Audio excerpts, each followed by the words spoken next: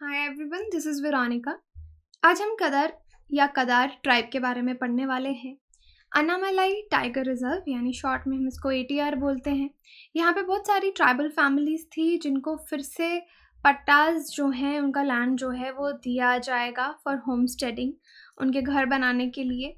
और इसके बारे में हम डिटेल में देखते हैं। क्या है ये न्यूज़ आपकी कोई भी क्वेरी हो, आप उनसे कनेक्ट कर सकते हैं सोशल मीडिया पे because I feel together we can make a huge difference चाहे फेसबुक इंस्टाग्राम या टेलीग्राम पे। पीडीएफ आपको सिर्फ़ और सिर्फ़ मेरे टेलीग्राम चैनल पे ही मिलेगा। देखिए कोई भी ट्राइब अगर न्यूज़ में रहती है तो कई बार उस पर सवाल आपके यूपीएससी में पूछा जाता है। और वैसे भी ये जो आज हम केस डिस्कस करने वाले हैं एक तरह का पहला केस है जहाँ पे आ, किसी विलेज पॉपुलेशन को ट्राइबल पॉपुलेशन को एविक्ट करवा के वहाँ से खाली करवा के उनको फिर से लैंड दिया गया हो पट्टाज दिए गए हों। अब देखिए दो साल का स्ट्रगल था अराउंड ट्वेंटी थ्री फैमिलीज़ हैं। ट्राइबल एबोरिजिनल हम ट्राइबल कम्युनिटीज़ के लिए यूज़ करते हैं। कदार ट्राइब के लोग, इनको होम स्टेट पट्टा अनिमल अनामलाई टाइगर रिज़र्व में दिया जा रहा है। फाइनली जो इनकी ये लड़ाई थी कि इनको वहाँ पे वापस जाना है, वो एंड होती है। Minister of minister for electricity prohibition and excise जो है वहाँ के वी बालाजी बालाजी, उन्होंने ये जो पट्टाज हैं ट्वेंटी वन कदार फैमिलीज़ को एक इवेंट ऑर्गेनाइज किया वहाँ पे। दिए गए, जो भी फैमिलीज़ वहाँ पे डिमांड कर रही थी। तो अब देख सकते हैं Kadar tribes to get homestead patta in A T R after struggling over two years तो दो साल तक वो लोग स्ट्रगल कर रहे थे। देखिए, कोई भी ये ये, यही स्टोरी है कि कभी भी कहीं पे डेवलपमेंट होती है। अगर वहाँ पे कोई विलेज पॉपुलेशन है, कोई ट्राइबल पॉपुलेशन है तो उनको वहाँ से खाली करने के लिए कहा जाता है। और कहा जाता है कि उनको कहीं और जाके बसाएँगे, कहीं और उनको घर दिए जाएँगे बट यूजली कई बार हम देखते हैं प्रोटेस्ट चलते रहते हैं, उनको घर नहीं मिलते।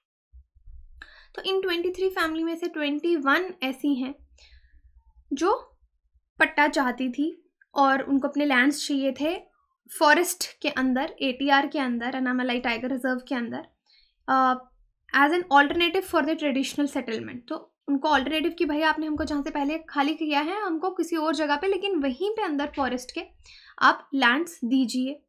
और जो इनका ट्रेडिशनल सेटलमेंट था, कलर कुडी उसको वो डिस्ट्रॉय हो गया था एक लैंडस्लाइड अगस्त टू ट्वेंटी में आई थी वो बिल्कुल डिस्ट्रॉय हो गई थी जगह तो उसको ऑल्टरनेटिव ये लोग मांग रहे थे। ऑल्टरनेटिव लैंड थे, थेपाकुलू लामेडू ये नेम्स यू नो तमिल के होंगे। तो जैसे अगर मैं गलत प्रोनाउंस कर रही हूँ तो आप राइट प्रोनाउंसिएशन बना बता सकते हैं थेपाकुला मेडू ये कोर एरिया में आता था टाइगर रिज़र्व के पंद्रह किलोमीटर था हिल ऑफ़ वलपराई से। तो ये ऑल्टरनेटिव लैंड डिमांड किया जा रहा था। अब जो ट्वेंटी थ्री फैमिलीज़ हैं, इसमें अराउंड नब्बे लोग हैं, जिनको फॉरेस्ट डिपार्टमेंट ने खाली कराया था क्योंकि बहुत ज़्यादा बारिश हुई थी लैंडस्लाइड हुई थी कलार कुड़ी में अगस्त 2019 में।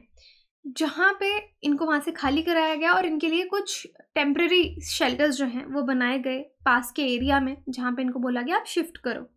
और ये लोग रहने भी लगे थे। उसके बाद इनको शिफ्ट किया गया। एक अनयूज्ड क्वार्टर्स थे टी एस्टेट है थाई मुडी में वहाँ पे ये लोग रहने लग गए। ये वलपराय से दस किलोमीटर की दूरी पे है और यहाँ पे ये लोग सेकेंड अक्टूबर तक रहे। ये जो फैमिलीज़ हैं यहाँ पे रही।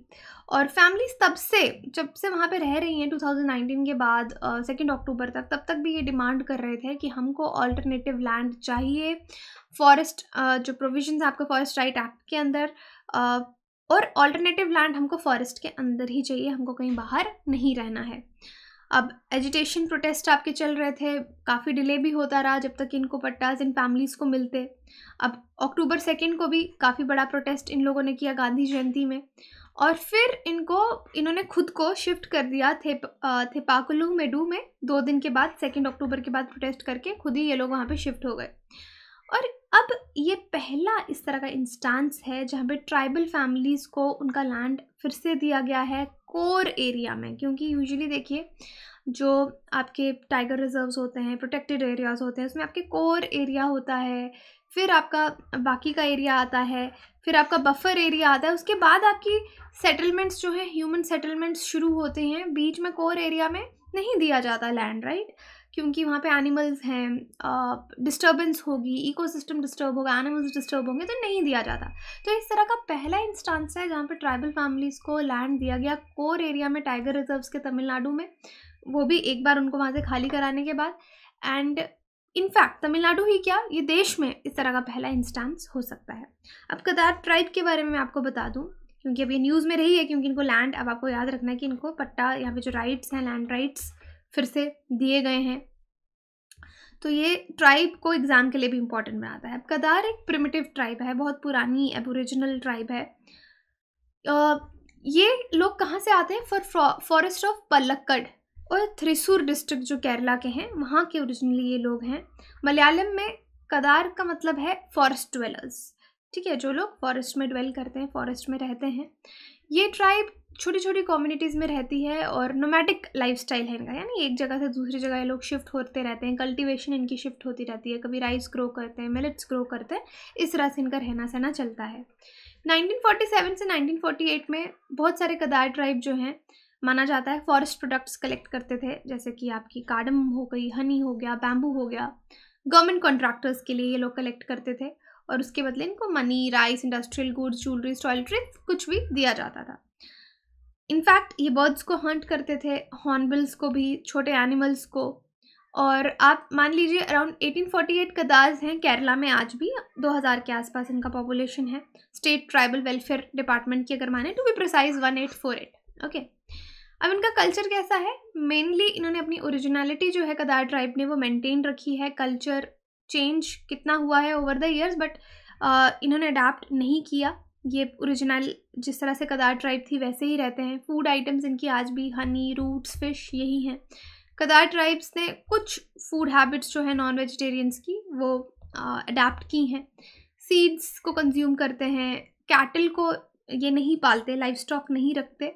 हाउस बनाने का तरीका घर बनाने का तरीका भी इनका अलग है। रेक्टेंगुलर शेप में घर बनाए जाते हैं। बैम्बू यूज़ करके और रूफ को पत्तों से कवर किया जाता है। स्टिक्स डाली जाती हैं ज़मीन में। आजकल तो आयरन भी यूज़ किया जाता है। आ, पहले स्टिक्स पे ही घर पूरा खड़ा किया जाता था। कॉस्ट्यूम्स अगर आप इनके देखेंगे तो ब्यूटीफुल कलर्ड कॉस्ट्यूम्स रहते हैं ट्रेडिशन। बाक क्लोथ्स और हेयर कॉम्स ये लोग यूज़ करते हैं जो कि बैम्बू से बने होते हैं। वेडिंग मैरिज जो है वो एक इंपॉर्टेंट इंस्टीट्यूशन इस ट्राइब में माना जाता है। आ, क्योंकि मैरिज बहुत सारे ट्राइबल जगह में कुछ ट्राइबल कम्युनिटीज़ में नहीं भी मानी जाती बट इस ट्राइबल में इस ट्राइब में बहुत ज़्यादा इम्पोर्टेंस उसको दी जाती है। लड़का जो है वो लड़की को डावरी देता है दहेज देता है। विडो मैरिज यहाँ पे अलाउड नहीं है लेकिन पॉलीगेमी है यानी एक से ज़्यादा बीवी लोग रख सकते हैं। या वाइस वर्सा भी हो सकता है। पॉलीगैमी जो है वो अलाउड है। यहाँ पे मैक्सिमम कदार ट्राइब्स में आपको पॉलीगैमी दिखेगी, लेकिन विडो रीमैरिज नहीं दिखेगी। रिलीजन इनका जो है स्पिरिचुअलिज्म और रिलीजन की तरफ़ बहुत ज़्यादा ओरिएंटेशन नहीं है।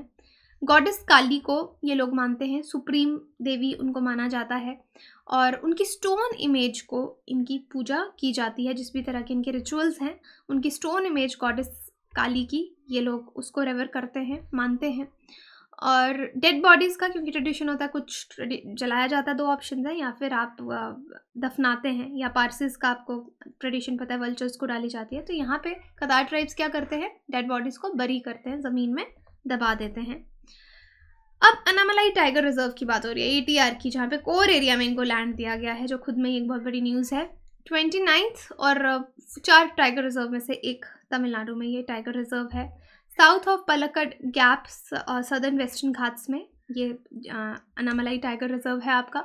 ओरिजिनली टेरिटोरियल डिवीज़न को यहाँ पे कोयम्बटूर साउथ फॉरेस्ट डिवीज़न में आता था, बाद में इसको, इस एरिया को वाइल्ड लाइफ सेंचुरी 1976 में घोषित किया गया।